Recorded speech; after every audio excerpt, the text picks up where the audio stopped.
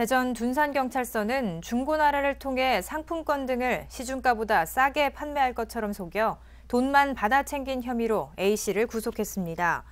A씨는 2016년 6월부터 지난 17일까지 인터넷 중고나라 카페에 거짓 글을 올려 피해자 48명으로부터 2,240만 원을 받은 뒤 물품을 보내지 않은 혐의입니다. 경찰 조사 결과 A씨는 설 명절을 앞두고 상품권 등을 조금이라도 싸게 구매하려는 소비자들의 심리를 이용해 이 같은 범행을 한 것으로 드러났습니다.